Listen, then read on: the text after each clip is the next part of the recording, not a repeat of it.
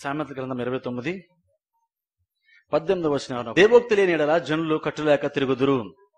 So దేవోక్తి అంటే దైవ యుక్తి లేదా వాక్యం అనొచ్చు లేదా ఇంగ్లీష్ బైబిల్ అయితే దర్శనం అని వచ్చింది విజన్ అని వచ్చింది ఇంగ్లీష్ బైబిల్ రాసిన దర్శనం లేక జనులు పాడైపోతున్నారు అని వచ్చింది తెలుగు బైబిల్ అయితే దైవోక్తి అని వచ్చింది దైవోక్తి అది కూడా వాక్యం అని చెప్పొచ్చు. రెండిట్లో మంచి మీనింగ్ ఉంది. వాక్యము లేక జనులు నశించిపోతాను దాంట్లో మీనింగ్ ఉంది. దర్శనం లేక జనులు నశించిపోతాను దానికి కూడా మీనింగ్ ఉంది. ఎందుకంటే దర్శనం అన్న వాక్యం అన్న ఒకటే నేను చెప్తాను. ఎందుకంటే వాక్యమే మనకు దర్శనాన్ని ఇస్తుంది. వాక్యం మనం వింటున్నప్పుడు వాక్యం ఏంటంటే మనకు ఒక విజన్ ఇస్తుంది. ఎగ్జాంపుల్ నేను ఒకవేళ నల్ల పిల్ల అన్నాను అనుకోండి నల్ల పిల్ల అన్న పదాలు మనకు మన మైండ్లో మెదవు దాని రూపం మనకి గుర్తుకొస్తుంది. అవునా కదా? నేను నేను నేను ఒక వర్డ్ చెప్పినప్పుడు దాని స్పెల్లింగ్ గుర్తురాదు మనకి. ఆ జంతువు ఆ ఆబ్జెక్ట్ మనకు గుర్తు వస్తుంది అంటే ఏంటి? నేను నేను మాట్లాడిన పదమే కానీ అది వినిన తర్వాత మీ మైండ్లోకి వెళ్తున్న మాత్రం మీరు ఆ పిక్చర్ని ఊహించుకుంటాం. అలాగే వాక్యం వింటున్నప్పుడు కూడా వాక్యం వినిన తర్వాత దర్శనాన్ని దేవుడు మనకి ఇస్తాడు. వాక్యం జస్ట్ పదాలు కాదు మీ చెవులోకి వెళ్ళడానికి.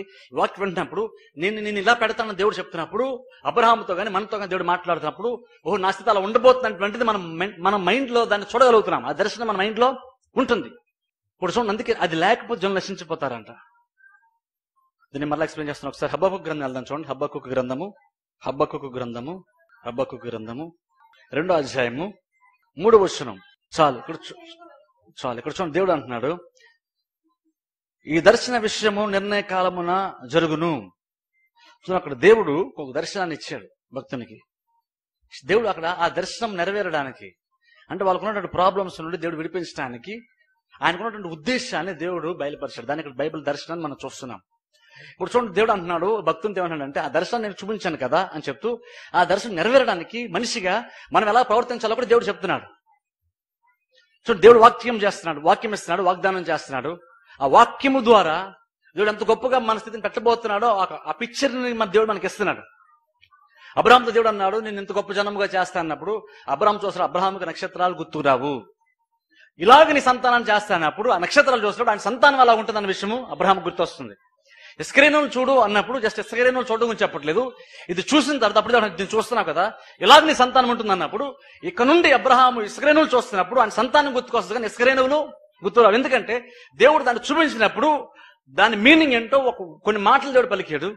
ఇక్కడ నుండి దాన్ని చూస్తున్నప్పుడు అది గుర్తుకురాదు. ఇప్పుడు కొత్తగా దేవుని యొక్క వాక్యంతో ఫీడ్ చేయబడ్డాం కాబట్టి ఇక్కడ నుండి మనకి దాన్ని చూస్తున్న వల్ల ఆ దర్శనమే గుర్తొస్తుంది. అందుకే దేవుడు అబ్రహాంకి ఆకాశాన్ని భూమిని ఆకాశంలో ఉన్నది నేల ఉన్న దాన్ని చూపించాడు. ఎక్కడికి వెళ్ళినా సరే అబ్రహాంకి రెండు లేకుండా ఉండవు. అంటే అర్థం ఏంటంటే అబ్రహాం ఎక్కడికి వెళ్ళినా సరే దేవుడు చేసిన వాగ్దానం ఆయన ఎదురుగా ఉంటుంది.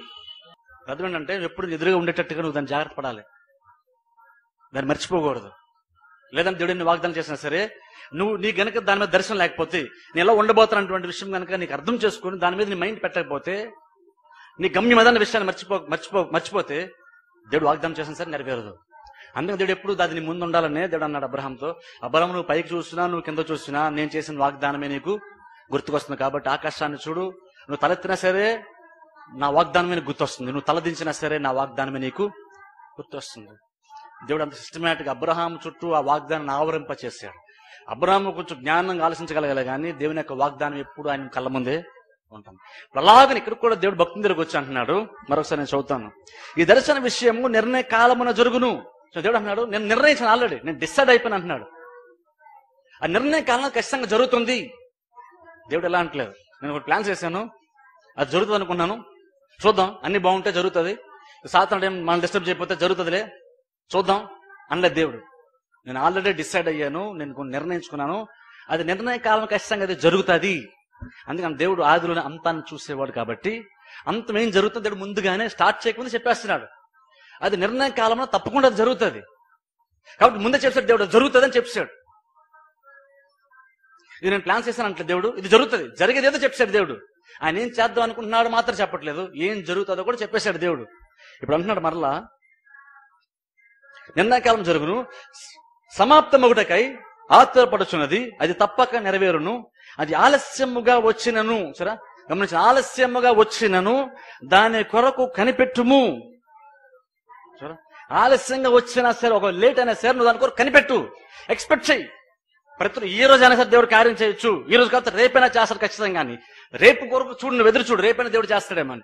రేపు ఉదయం లేవు కార్యం జరగలేదు. నువ్వు మళ్ళీ నెక్స్ట్ డే కూడా నువ్వు దాన్ని ఎక్స్పెక్ట్ చెయ్యి. ఎదురు చూస్తున్నావు ఎందుకంటే ఎప్పటికైనా సరే జరిగే అవకాశం ఉంది. కొంచెం అటు ఇటుగా ఆలస్యం అవ్వచ్చేమో. దేవుడు అన్నాడు ఒక ఆలస్యమైనా సరే తప్పకుండా అది జరుగుతుంది కాబట్టి నువ్వు ప్రతిరోజు ఎక్స్పెక్ట్ చెయ్యి. ప్రతిరోజు నువ్వు ఎదురు చూడు అంటున్నాడు.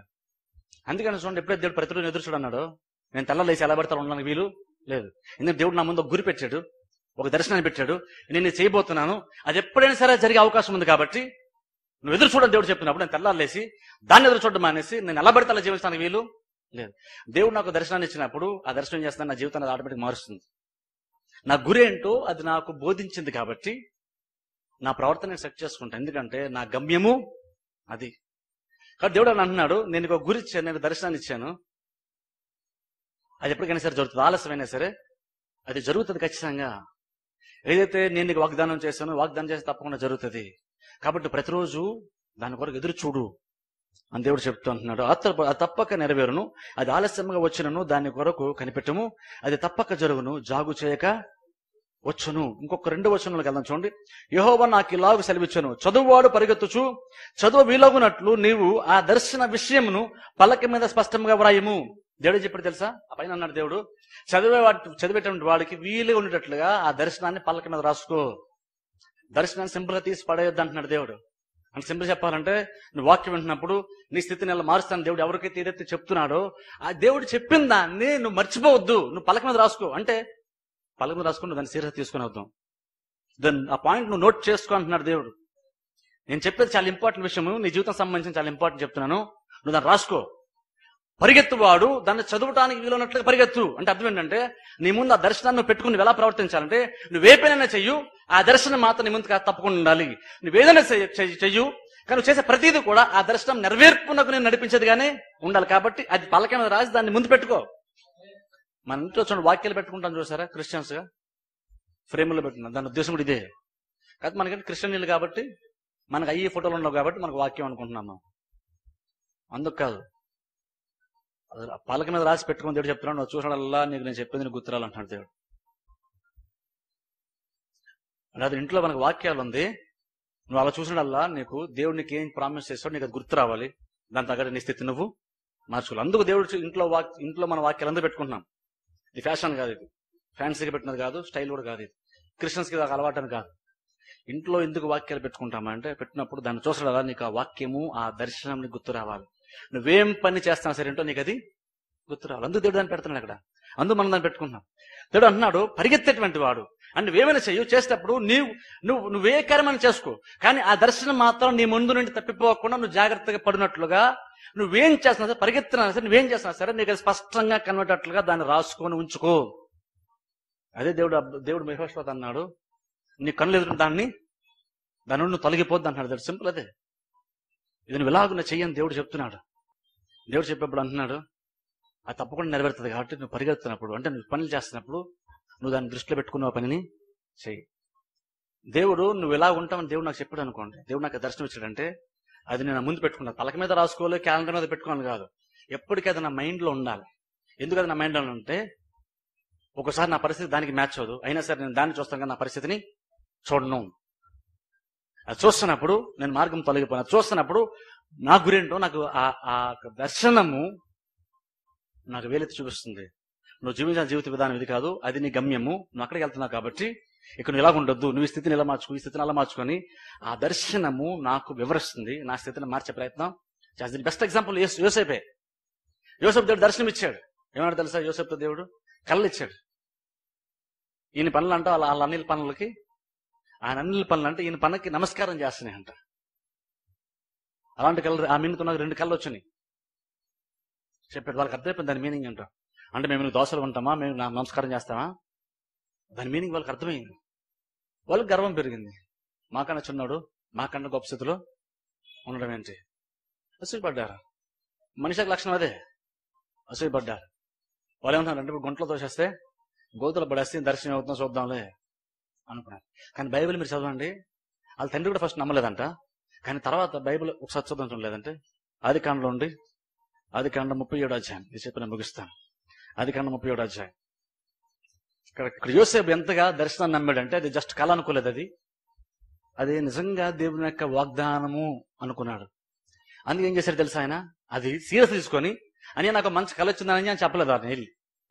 ఆయన కళ చెప్తున్నప్పుడు అది- ఆయన మీనింగ్ ఏంటో యోసేపుకే తెలిసింది ఆయనకు వాళ్ళకు కూడా తెలిసింది. అందుకనే కళ్ళను బట్టి వాళ్ళు అసూయపడ్డారని బైబిల్ మనం పగబట్టారని బైబిల్ మనం చూస్తాం. ఆ తర్వాత పదకొండు వచ్చిన చూస్తే అతని సహోదరులు అతని ఎందు అసూయపడిరి అయితే అతని తండ్రి ఆ మాట జ్ఞాపకం ఉంచుకునను. ఫస్ట్ తండ్రి కూడా దాన్ని సిల్లిగా తీసుకున్నాడు.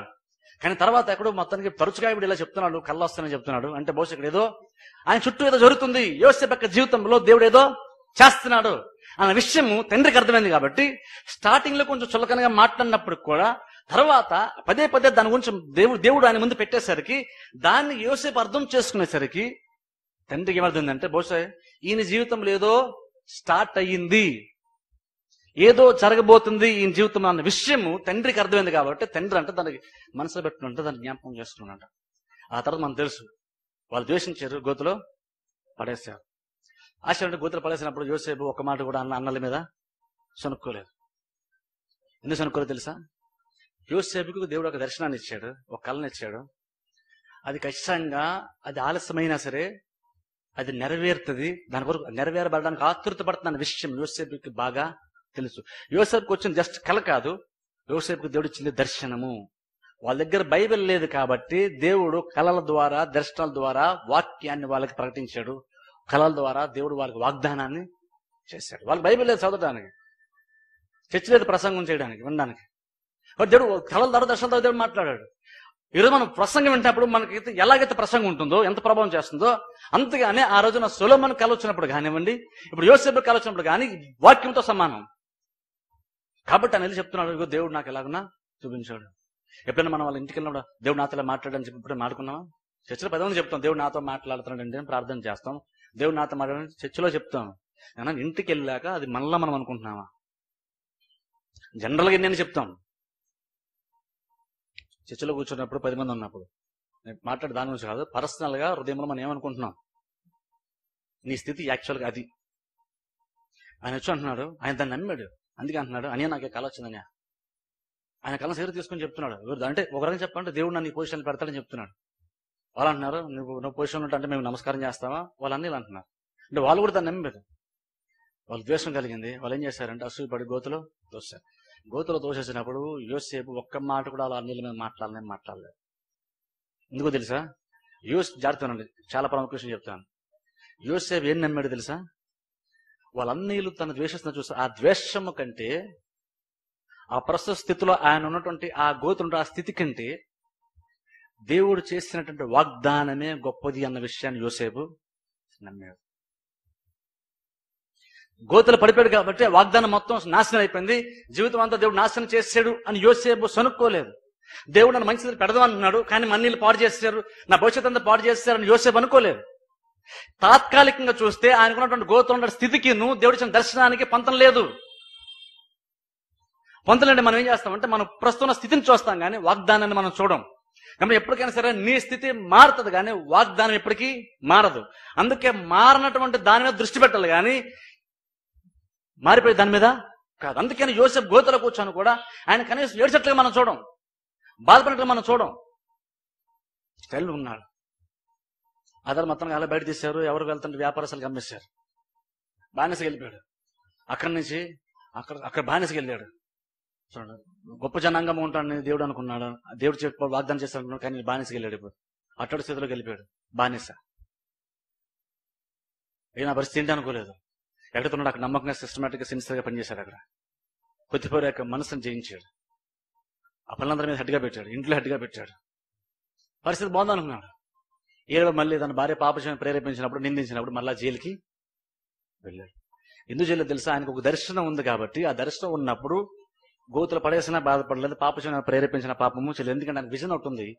ఆయన ఏమనుకున్నాడంటే నా ముందు ఆ గురున్నప్పుడు ఆ నా ముందు అది గొప్పది అనుకున్నప్పుడు ఈ తాత్కాలికమైన వాటి కొరకు నేను ప్రయాసపడను. అది నా గొప్పది నా ముందు ఉన్నప్పుడు చిన్న చిన్న వాటికి నేను లోబడను. ఎందుకంటే రెండిటికంటే అది పెద్దది. రెండిటికంటే అది నా గొప్ప భవిష్యత్తుని ఇస్తుంది కాబట్టి దాని మీద గురిపెట్టినాడు కాబట్టి మధ్యలో ఎంతమంది ఎందంటున్నా సరే అదేది కూడా యోసేపు పట్టించుకోలేదు. ఎందుకంటే ఆయన పరిగెడుతున్నప్పుడు పలక మీద దాన్ని రాసుకున్నాడు ఆయన. నేను ఎక్కడికైనా వెళ్తాను కానీ దాన్ని మాత్రం మిస్ ఛాన్స్ నాకు లేదు. నేను గోతులో ఉన్నా సరే నేను జైల్లో ఉన్నా సరే మంచి పొద్దుఫోర్ ఇంట్లో ఉన్నా సరే ఎక్కడ సరే నా దృష్టాంతం ఇది దీని మీద కాదు నా దృష్టాంతం దాని మీదే. దేవుడు నాకు చూపించాడు అది లేట్ అయినా సరే నెరవేరుతుంది అన్నాడు. కాబట్టి ఎప్పటికైనా సరే నెరవేర్ నెరవేరే ఛాన్స్ ఉంది కాబట్టి నేను వీటికి లోబడను అనుకొని దాని మీద గురి పెట్టుకున్నాడు. జైలుకి వెళ్ళిపోయాడు. జైల్లో కూర్చున్నాడు. చూడండి అక్కడ కూడా ఏం జరిగింది తెలుసా? ఎవరు అక్కడ కూడా ఎవరి మీద నాకు అన్యాయం జరిగిందని ఎవరి మీద ఇది అవ్వలేదు ఆయన. జైల్లో ఉన్నాడు. జైలు అందరికంటే ఈయన హెడ్గా అక్కడ అధికారి చేశాడు. బాగున్నాడు అక్కడ. ఆల్రెడీ ఎవరిద్దరు జైలు ఉన్నారు అక్కడ మళ్ళీ దర్శనం వచ్చింది. ఆ రాజు దగ్గర ఆహారం వడ్డించే వాళ్ళు ద్రాక్ష పోసేవాళ్ళు. వాళ్ళ కళ్ళ వాళ్ళు చింతపడుతుంటే వాళ్ళకి వెళ్ళి చెప్పాడు. బైబిల్ మనిషి అయితే మీరు ఎందుకు దిగులు ఉన్నారంటాడు? జైల్లో ఉండరు దిగులు ఉండక ఎలా ఉంటాం? అంటారు జనరల్గా. కానీ యోసేపు అడగండి జైల్లో ఉన్న సార్ దిగులు పడాల్సిన పని లేదు అంటున్నాడు యోసేపు. యోసేపు జైల్లో ఉంటూ కూడా బాధపడలేదంటే అర్థం ఏంటంటే యోసేపు ఏం చెప్తున్నాడంటే మీరు జైల్లో ఉన్నా సరే బాధపడకుండా మీరు ధైర్యంగా ఉండొచ్చు అని యోసేపు చెప్తున్నాడు. యోసేపు సాకులు చెప్పుకుంటూ కూర్చోలేదు. మనలాంటి స్థితిలో మనకంటే భయంకర స్థితిలో ఒక ఆయన ఉంటూ సంతోషంగా బ్రతికాడంటే మనం కూడా ఇప్పుడుంటూ సంతోషంగా మనం బ్రతకచ్చు. అంతే నాకు ఇది లేదు నాకు అది లేదు సనుక్కడం వీల్లేదు యోసేపు ఏం చెప్తాను తెలుసా? మీరు మనం ఎవ్వరు సాగులు చెప్పుకోకుండా ఆ ఛాన్స్ మనకోకుండా సంతోషం సంతోషంగా ఉండి ఒక క్రిస్టియన్ వాడు ఇలా ఉండొచ్చు అని చూపించాడు. యువసేపు జీవితం ఏంటంటే మనం సాగులు చెప్పుకోవడానికి అవకాశం లేకుండా యువసేపు జీవితం ఉంది. జైల్లో ఉన్నాడు. రాజు దగ్గర ఆహారాన్ని పానాన్ని వడ్డించేటువంటి వాళ్ళు. ఆహారం వడ్డించేవాడు అందరూ ఇద్దరు చచ్చిపోతానని చెప్పాడు కళ్ళని బట్టి. ఆ వ్యక్తి రిలీజ్ ఒక వ్యక్తి రిలీజ్ రాజు వెళ్తున్నప్పుడు మళ్ళీ డ్యూటీ జాయిన్ అవుతున్నప్పుడు చెప్తున్నాడు పాపం. నువ్వు రాజు వెళ్ళినప్పుడు చెప్పు నాకు ఇలా అన్యాయం జరిగింది నాకు కొంచెం సహాయం చేయి. వెళ్ళిన వ్యక్తి మర్చిపోయాడు. కానీ దేవుడు మర్చిపోరు. దేవుడు మర్చిపోకపోవడం ఒక ఎత్తు. దేవుడు చేసిన వాగ్దానాన్ని నువ్వు మర్చిపోకుండా ఉండడం ఒక ఎత్తు. దేవుడు చేసిన దేవుడు ఎప్పుడు మర్చిపోడు? మనం దేవుడు మనకు చేసింది మనం మర్చిపోతాం. దర్శనాన్ని రాసి పలక మీద పెట్టుకున్నాడంట. అంటే నా స్థితి ఎలాగున్నా ఉండబోతుంది కాబట్టి నేను నా స్థితి ఇప్పుడు నేను జైల్లో ఉండొచ్చు నేను గోతులు ఉండొచ్చు నేను ఎక్కడ ఉండొచ్చు కానీ నా గమ్యం మాత్రం అది. ఆ విషయము యోసేపుకి బాగా మైండ్లో ఉంది. అందుకని చిన్న చిన్న వాటికి యోసేపు దిగులు పల్ల చిన్న చిన్న వాటికి లోబడిపోలేదు యోసేపు. అందుకని దేవుడు అన్నాడు అక్కడ పరిగెత్తేటువంటి వాడు ఆ దర్శనం చూసినట్లుగా పల్లకి మీద దాన్ని రాసుకోవాలి. ఎప్పుడైతే అది తెలుసుకున్నాడో యోసేపు ఎప్పుడైతే దర్శనం ఆయన మైండ్లో స్థిరపడిందో ఇంకా దేని మీదకి ఆయన మైండ్? వెళ్ళలేదు. దేని మీదకి ఆయన మైండ్ వెళ్ళలేదు? ఎవరిని ద్వేషించలేదు? ఎవరి మీద అన్యాయం ఇది అన్యాయం చెప్పి నిందించలేదు? ఏం చేయలేదు? ఆయన సైలెంట్ కూర్చున్నాడు. అది అనుకున్న బహుశా యోసేపు ఏమన్నాడంటే దేవుడు వాగ్దానం చేశాడు అది లేట్ అవ్వచ్చేమో కానీ అది ఖచ్చితంగా ఆలస్యమైనది నెరవేరుతుంది. కాబట్టి నేను వెయిట్ చేస్తాను అని వెయిట్ చేశాడు. ఓ టైం వచ్చాను. జైల్లోనే ఇంకా ఉన్నాడు ఆ దేవుడు రాజుగారిని పట్టున్నాడు అప్పుడు. రాజుగారికి కళ్ళనిచ్చాడు అది యోసేపు మాత్రం చెప్పగలడు. తీసుకురండి అన్నాడు రాజు బయటికి. సగ్గానికి బట్టలే మార్చారు గడ్డ మీద గీశారని ఇంటికి ఫ్రెష్గా పెట్టి చేశారు.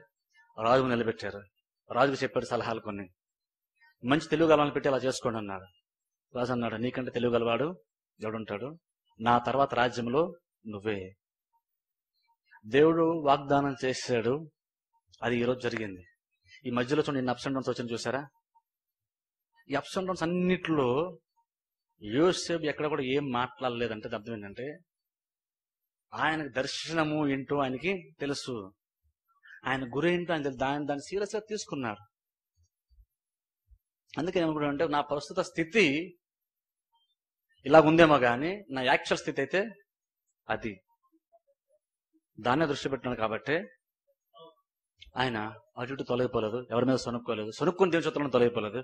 ఎవరిని ద్వేషించి దేవుని చేతుల నుండి తొలగిపోలేదు. దేవుడు మనకేం వాగ్దానం చేశాడో తెలిస్తే నువ్వు ఎవరి మీద సొనుక్కోవాల్సిన పని లేదు. నేర్చుకునే విషయాన్ని.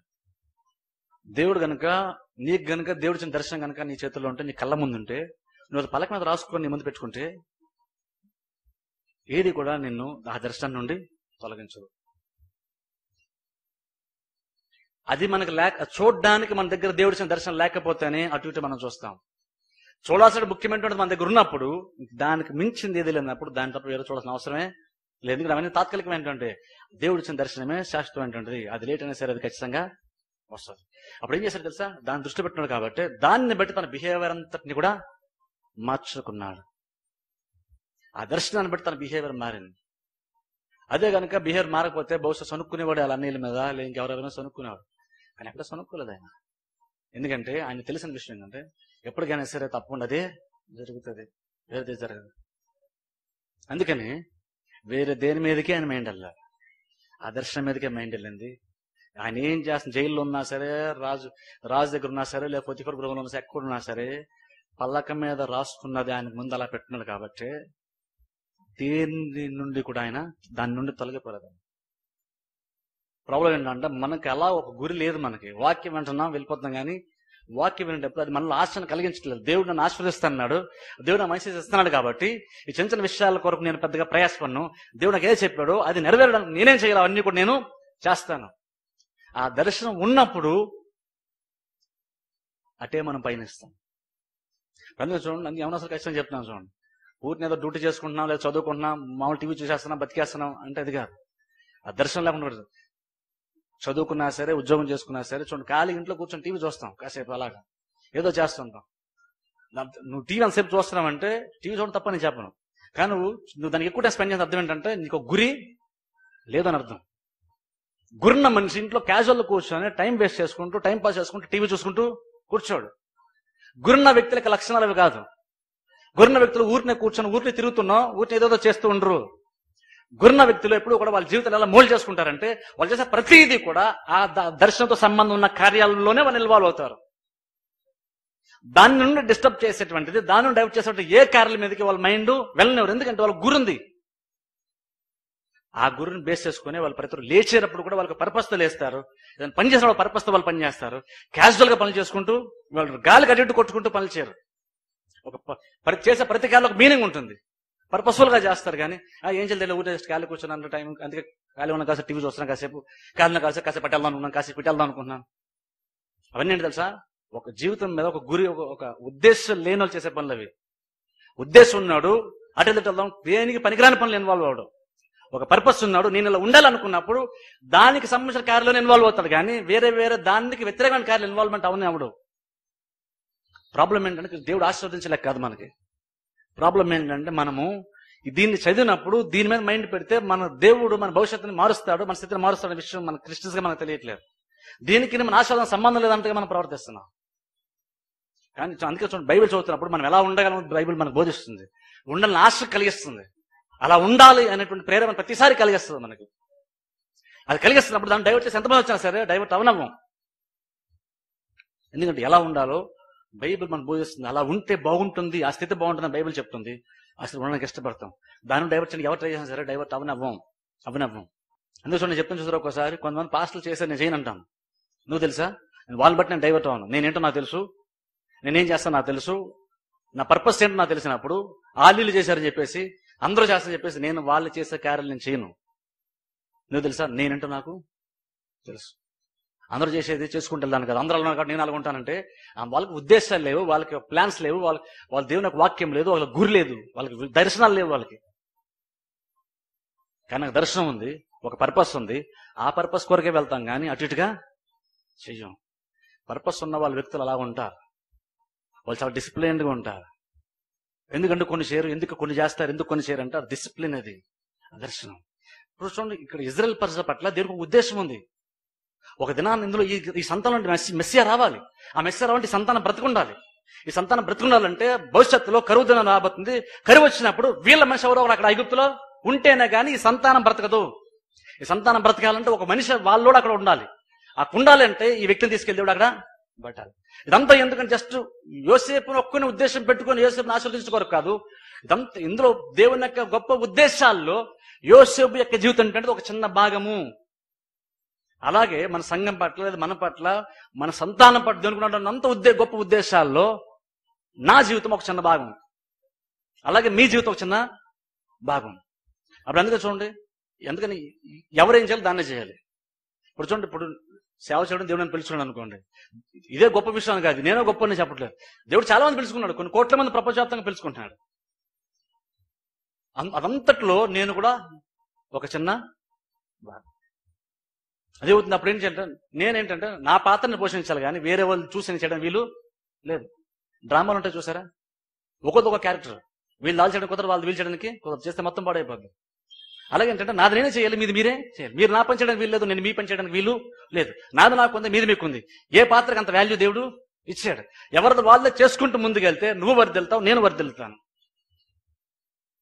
అందుకనే ఎవరో చూసి కాపీ చేయం. ఎందుకంటే నేనేంటో నా పాత్ర ఏంటో నాకు తెలిసినప్పుడు వేరే వాళ్ళు చేశారు వాళ్ళు వర్కౌట్ అయింది లేదు వాళ్ళకి బాగా డబ్బులు వచ్చినాయి వాళ్ళు బాగా పైకి వచ్చారు కాబట్టి మనం కూడా ఇలా చేద్దాం మనకు డబ్బులు బాగా వస్తాయి. చేయడానికి వీలు లేదు. వాళ్ళు ఏం చేశారో తెలియదు. బహుశా దేవుడు వాళ్ళగా పిలిపించుండొచ్చు వాళ్ళు చేసి ఉండొచ్చు వాళ్ళు చేశారు కాబట్టి వాళ్ళు పాస్ అయ్యారు కాబట్టి వాళ్ళు చేశారు వాళ్ళకి బాగుంది కాబట్టి నేను కూడా అదే చేయలేమి లేదు. నేనేంటో నాకు తెలిసినప్పుడు నా పిలిపి నాకు తెలిసినప్పుడు నా పర్పస్ ఏంటో దేవుడు నన్ను దేని పిలుచుకున్నాడో నా పట్టు దేవుని దర్శనం ఏంటో నా దర్శనం ఏంటో తెలిసినప్పుడు వేరే వాళ్ళు చూసి ఇన్ఫెరిటీ ఫీల్ అయిపోయి మనం ఒక్కరు ఉన్నాం ఏంటి అనుకొని నేను వాళ్ళ ఉండడానికి ప్రయత్నం చేయాల్సిన అవసరం లేదు. నా స్వభావం ఏంటో తెలిసినప్పుడు దేవుడిని ఎలా పిలుచుకున్నాడో తెలిసినప్పుడు ఆ పిలుపులో నమ్మకం ఉంటాను కానీ వేరే వాడిని చూసి కాపీ చేసుకోవడానికి ప్రయత్నము చేయం జస్ట్ నా ఎగ్జాంపుల్ చెప్పాను అంతే. అలాగే మీరైనా సరే మీరేంటో మీకు ఫస్ట్ ఆఫ్ ఆల్ తెలియాలి మీకు. మీ స్థితి ఏంటో తెలియాలి. దేవుడు మిమ్మల్ని దేని పిలుచుకున్నాడో తెలియాలి. మీ పట్ల ఉద్దేశం ఏంటో మీకు తెలియాలి. ఆ ఉద్దేశాలు మీరు గ్రహించిన వారే ఉండాలి. అది గ్రహిస్తే అది నిజంగా మీ మైండ్లో కనుక స్థిరపడితే ఆటోమేటిక్గా మీ జీవితం మారుతుంది. ఇలా ఉండు అలా ఉండు నాకు నాకు ఎవరు చెప్పలేదు. నువ్వు ఇలా చేయాల్సిన నాకు ఎవరు చెప్పలేదు. అవి నాకు నేను తెలుసుకొని నాకు నేను నిర్ణయాలు తీసుకుని నాకు నేను చేసుకుంది. ఇలా చేయని ఎవరు నాకు చెప్పింది? లేదు. మరెక్కడ వచ్చిందంటే నాలో పుట్టుకొచ్చిన అవన్నీ కూడా.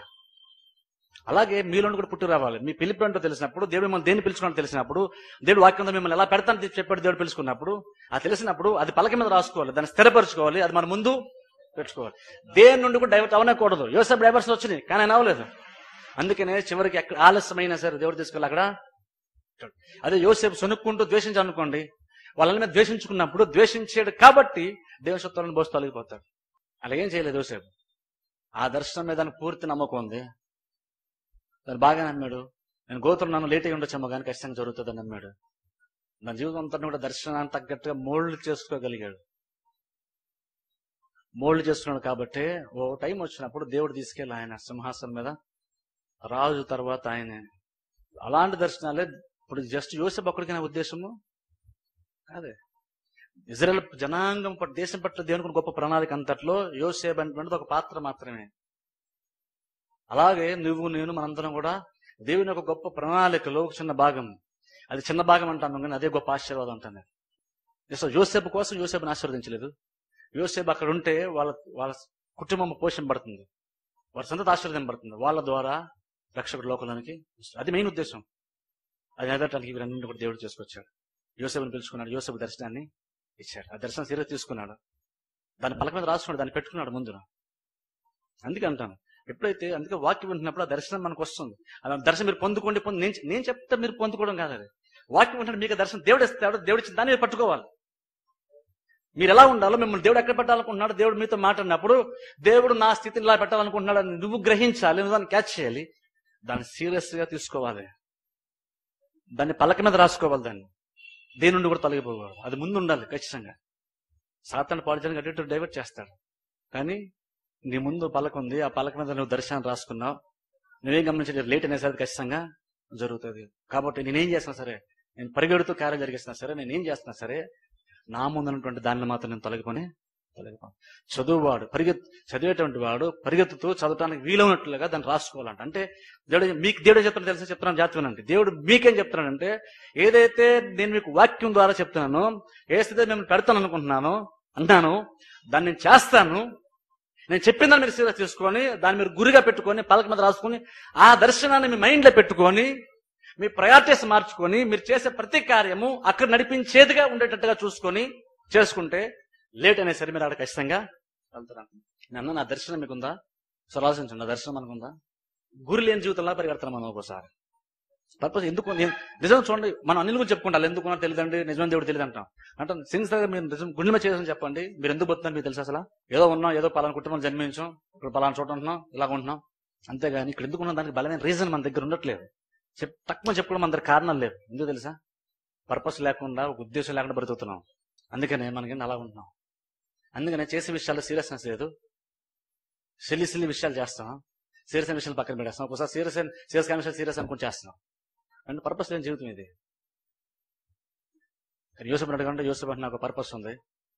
గోతులు పడినా సరే జైల్లో ఉన్న ఎక్కడున్నా సరే నేను ఒకలాగానే ఉంటాను. ఇది నా పర్పస్ నన్ను అలాగా మార్చేసింది. నువ్వు ఎందుకు ఆయా కార్యాలు ఇన్వాల్వ్ అవ్వవు యోసేపు? నువ్వు ఎందుకు అట్టాలు విట్టాలు అని అడిగితే నేను అలా వెళ్ళడానికి వీలు లేదు ఎందుకంటే నాకంటూ ఒక పిలుపు ఉంది. నేను దాన్ని దృష్టిలో పెట్టుకుని ప్రతి కార్యాన్ని చేస్తాను మనకి ఏంటంటే మనం వాక్యం వింటున్నాం కానీ దేవుడు దర్శనస్తుంటే దర్శనం పట్టుకోలేకపోతున్నాం. మన చుట్టూ చాలా పరిస్థితి దేవుడు మార్చే ప్రయత్నం చేస్తున్నాడు. నేను త్వరలో ఆశీర్వదిస్తాను నేను వర్ధిల్ల చేస్తాను మీ స్థితిని హెచ్చింప చేస్తానని దేవుడు చెప్పే ప్రయత్నం చేస్తున్నాడు. దేవుడు చెప్తున్నాడు మన చుట్టూ పరిస్థితులు అలా సూచిస్తున్నాయి కానీ దాన్ని గ్రహించలేని స్థితిలో ఉంటున్నాం. ఎందుకంటే మనం మైండ్ దాని మీద చుట్టూ చాలా మార్పులు వస్తున్నా సరే ఏమి లేదంటే క్యాజువల్గా తీసుకుంటున్నాం క్యాజువల్గా ఉంటున్నాం. నేను అట్లా ఈ రోజు అనుకున్నా ఈ రోజు రేపు అనుకుంటున్నాం. క్యాజువల్ తీసుకుంటున్నాం. గమనించండి ఈ రోజైన వాక్యం సీరియస్ తీసుకోండి. దేవుడు ఒక ఉద్దేశాన్ని మన మనసులో నింపే ప్రయత్నం చేస్తున్నాడు. అందరిలో ప్రతి వాళ్ళు చిన్నపిల్లలు యవనస్తులు పెద్దవాళ్ళు అందరూ చెప్తున్నారు ఉద్దేశాన్ని ప్రయత్నం చేస్తున్నాడు. అల్పమైనటువంటి వాటి కొరకు లోబడకండి. ఈ చిన్న చిన్న వాటి కొరకు ఆటల కోసం పాటల కోసం టీవీల కోసం అట్లా బయట తిరగడానికి. అందుపెట్టలేదు దేవుడు మనల్ని ఇక్కడ. దేవుని గొప్ప ఉద్దేశం ఉంది. నీ వంశం పట్ల నీ కుటుంబం పట్ల ఉద్దేశం ఉంది. అందులో నువ్వు ఒక చిన్న పార్ట్. నీ పాత్రను కరెక్ట్గా పోషించిన సక్రమంగా బ్రతకగలిగితే నిన్ను బట్టి నీ కుటుంబం. యోసేపు కట్టుకున్నాడు కాబట్టి యోసేపు బట్టి వాళ్ళ అన్నదమ్ములు పోషింపడ్డారు అలా నువ్వు కుటుంబానికి ఆశీర్వాదకరంగా ఉండాలి. నువ్వు ఎంత డిసిప్లిన్ ఎంత సిస్టమేటిక్గా ఉండాలంటే నిన్ను బట్టి పది మంది సంతోషించేలాగా ఉండాలి. నా ప్రాబ్లం వచ్చినప్పుడు వాళ్ళ దగ్గర నేను వెళ్ళొచ్చు వాళ్ళని సపోర్ట్ చేస్తారు వాళ్ళు హెల్ప్ చేస్తారు అన్నంత స్థితిలో మనం ఉండాలి. ఆ సిద్ధి పెట్టడానికి ఇష్టపడుతున్నాను ఆశీర్వదించడానికి ఇష్టపడుతున్నాను ఆశీర్వాదకరం మార్చడానికి ఇష్టపడుతున్నాను. అందుకే అంటున్నాను చూడండి జీవితాన్ని వ్యర్థ వేస్ట్ చేసుకోకండి ఎలా పడితే అలా జీవించండి. ఇప్పటికే సగం జీవితం మనకు అయిపోయింది. ఎంత త్వరగా మనం రక్షింపడి ఎంత త్వరగా మన జీవితం తీసుకెళ్ళి దేవుని చేతుల్లో పెట్టి దేవుని లోబడతాము అంత త్వరగా దేవుని కార్యం మన జీవితాల్లో జరుగుతాయి మనమేమో ఉన్న దేవుడు మనకి యమన ఉంటుండే కానీ మనం ఎలా పడితే అలా జీవించి ఎలా పడితే అలా ఉండి ఎప్పుడో ముసలి తర్వాత కాళ్ళు చేతులు ఇంకా ఇంకో సంవత్సరం అయితే పని చేయమన్న టైంలో దేవుడి దగ్గరికి వెళ్తే ఉపయోగం లేదు. దేవుడు చేయడానికి ఏమీ దేవుడు నువ్వు టైం ఇవ్వాలి. దేవుడు మార్చడానికి నిన్ను నిన్ను మార్చి నీ పరిస్థితి మార్చడానికి దేవుడు టైం ఇవ్వాలంటే ఎంత త్వరగా వీలైతే అంత త్వరగా తీసుకెళ్ళి దేవుని చేతుల్లో మన జీవితాన్ని పెడితే అంత త్వరగా దేవుడు మన జీవితాన్ని మారుస్తాడు. అని అన్నాను గురి లేని వాళ్ళలాగా పరిగెట్టకండి గురి లేని వాళ్ళలాగా జీవించకండి. ఒక పర్పస్ ఉంది. అది తెలుసుకుంటే అదే నీకు పెద్ద డ్రైవింగ్ ఫోర్స్లో నేను నడిపిస్తుంది అదే. కొన్నిసార్లు ఎందుకు ఇలా చేస్తాం? ఎందుకు బ్లంట్గా ఉంటాం? ఎందుకు కఠినంగా ఉంటాం? కొన్నిసార్లు ఎందుకంటే మొండిగా చేస్తాం? అంటే కారణం ఏంటంటే అలా మొండిగా ముందుకెళ్తాను అర్థం ఏంటంటే వాళ్ళు తప్పు చేస్తాను చెప్పలేదు మొండిగా సరైన కార్లే ఎంత వ్యతిరేక వ్యతిరేకత వచ్చినా సరే మొండిగా చేస్తున్న అర్థం ఏంటంటే వాళ్ళకు దర్శనం ఉంది. సైంటిస్టులుగా దర్శనం ఉంటుంది. ఎన్నిసార్లు ఫెయిల్ అయినా సరే చూడండి ఆ లైట్లు కనిపెట్టిన వాళ్ళు కరెంట్ కనిపెట్టిన వాళ్ళు టీవీలు కనిపెట్టిన వాళ్ళు ఎంతమంది వ్యతిరేకించినా సరే ఎన్నిసార్లు ఫెయిల్ అయినా సరే మళ్ళా వాళ్ళు అదే పని చేస్తారు. అందుకే వాళ్ళని ఒకసారి మనం పిచ్చోళ్ళు అంటాము వాళ్ళు నిజంగా అలా కనబడతారు. పిచ్చోళ్ళగా ఉంటారు. ఎందుకంటే వాళ్ళు వాళ్ళు చేసే ప్రతి దాని మీద వాళ్ళు గురి ఉంటారు అందుకే వాళ్ళు హెయిర్ కటింగ్ మీద ఆలోచించరు వాళ్ళ డ్రెస్ మీద ఆలోచించరు వాళ్ళు బయటకి ఎలా కనబడుతున్నారో ఆలోచించరు. వాళ్ళు పిచ్చోళ్ళ కనబడిన సరే వాళ్ళ గురి అంతా ఒకటే. నేను అనుకున్నాను కనబడదు అంటున్నాను దాని మీద నా మైండ్ పెడతాను కాబట్టి ఇవన్నీ ఇవన్నీ నా సంబంధం లేదు. నాకు గడ్డం ఎలా ఉంది? నేను బయటకి ఎలా కనబడతాను? పిచ్చోళ్ళ కనబడతాను? తెలుగు కనబడతానా? స్మార్ట్ కనబడుతున్నాను లేదా డల్ కనబడతాను? దాని మీద వాళ్ళ మైండ్ ఉండదు. ఎందుకంటే ఆ దర్శనం అంటే వాళ్ళ బిహేవియర్ మొత్తాన్ని మార్చేసింది వాళ్ళ ప్రయారిటీస్ మొత్తాన్ని మార్చేసింది. అందుకని వాళ్ళు తన గురించి తన ఎలా కనబడుతున్నాడు ఇతరులు తన గురించి ఎలా దాని గురించి పట్టించుకోరు. వాళ్ళు ఏదైతే కనబడదు అంటున్నారు ఏదైతే సాధ్యం అంటున్నారో దాని మీద వాళ్ళ మైండ్ ఉంటుంది. తినో తినకో వాళ్ళు దాని మీద మైండ్ పెడతారు. చో దాన్ని సాధించే వరకు వాళ్ళు నిద్రపో ఒక అన్యుడు వాడికి ఏదో మైండ్లో కొన్ని ఆలోచించి వాడుకున్న జ్ఞానాన్ని బట్టి వాడికి దర్శనం కలిగి అంత డిసిప్లిన్ అంత సిన్సియర్ పని చేస్తున్నప్పుడు దేవుని యొక్క వాక్యాన్ని వింటున్నామని చెప్పుకుంటున్నాం మనం. మనకి ఎంత ఇంకా దర్శనం రావాలి? ఆ దర్శనం బట్టి మన జీవితం ఎంత మనం మోల్డ్ చేసుకోవాలి? ఎంత క్రమంగా ఎంత పద్ధతిగా మనం జీవించాలి? యోసేపు జీవించాడు దేవుడు ఆ వ్యక్తిని ఆశీర్వదించాడు నేను అంటున్నాను? జీవితం ఆశీర్వదింపడాలనుకున్నప్పుడు వాక్యం వినాలి ఎక్కువగా ఎందుకంటే వాక్యం విన్నప్పుడు వాక్యం నాకు దర్శనం తీసుకొస్తుంది. నేను సేవ చేస్తే ఎలా చేయాలి అన్నది బైబిల్లో చదువుతున్నప్పుడు నాకు అర్థమైంది. ఆన్లైన్ చూస్తే అర్థం కాదు అది. బైబిల్ చదువుతున్నప్పుడు బైబిల్ పనులు ఎలా చేశారు పనులు చేసినప్పుడు చేస్తున్నప్పుడు నా ప్రాక్టీస్ ఎలా ఉండాలి చేస్తే ఎలా చేయాలి? ఎంతమంది ఏకీవిస్తారు ఎంతమంది ఏకీవించరు దర్శనం దాంతో సంబంధం లేదు. నా దర్శనం ఎంతమంది ఏకీవిస్తారు దానికి సంబంధం లేదు. మనం చేయగలుగుతారు మనం చేసుకుంటూ వెళ్ళిపోతాం. దర్శనం అంటే అలా నడిపిస్తుంది. అలా మోల్డ్ చేస్తుంది మన జీవితాన్ని. దేవుడు అంటున్నాడు అందుకనే వాక్యం విన్నప్పుడు దర్శనం మనకు వస్తుంది అన్నీ అన్నాను అందుకే మీరు చచ్చారా మీ పిల్లలు అందుకే చచ్చి రప్పించాలంటాను. ఎందుకు తెలుసా? వాళ్ళకి ఎప్పుడుండే ఆ దర్శనం ఉండాలి పిల్లలకి? ఇప్పుడుండే ఉంటే నేను కూడా ఇలా ఉండాలన్న ఆశ వాళ్ళకి కలుగుతుంది. ఇలా ఇక్కడికి వచ్చి ఈ వాక్యం వినే వినే వినేటారు వచ్చే ఆశ లేకపోతే వాళ్ళ లోకంలో ఉండే ఆశలు వస్తాయి. అప్పుడు నేను వెనకాల పరిగెట్టాలి ఏడాల్సి వస్తుంది వెనకాల. చర్చలో కూర్చోబెడితే దేవుడి దగ్గరకు వస్తే దేవుడు ఆశీర్వదిస్తాడు అన్న విషయాన్ని కనుక మన పిల్లలు చెప్పగలిగితే వాళ్ళకి అది వాళ్ళ మైండ్లో కనుక అది ఎక్కించగలిగితే వాళ్ళు కూడా యూసఫ్లో ఉండాలనిపిస్తుంది వాళ్ళు కూడా అబ్రహాంలో ఉండాలని అందుకని అన్నిటికీ చర్చకు రావడం ప్రాముఖ్యం. అందుకే చర్చకు రానప్పుడు నేను హెల్ప్ చేయలేను. కానీ చర్చకు వచ్చేవాళ్ళకి ఏదైనా సరే చేయొచ్చు. చర్చకు వచ్చి అంతైనా సరే ఛాన్స్ ఉంది. ఎందుకంటే దేవుడు ఏ క్షణమైనా సరే ఈ రోజు కాకపోయినా రేపైనా సరే దర్శనాన్ని ఇస్తాడు. ఆ దర్శనం చేత పట్టబడతావు. ఆ దర్శనం ముందు పెట్టుకుంటా అది నెరవేరడానికి ఏమేమి చేయాలన్నీ అన్ని చేస్తావు. ఏమేమి చేయకూడదు అవన్నీ చేయడం మానేస్తావు. ఆలస్యమైన చివరికి దర్శనం మోకరించాను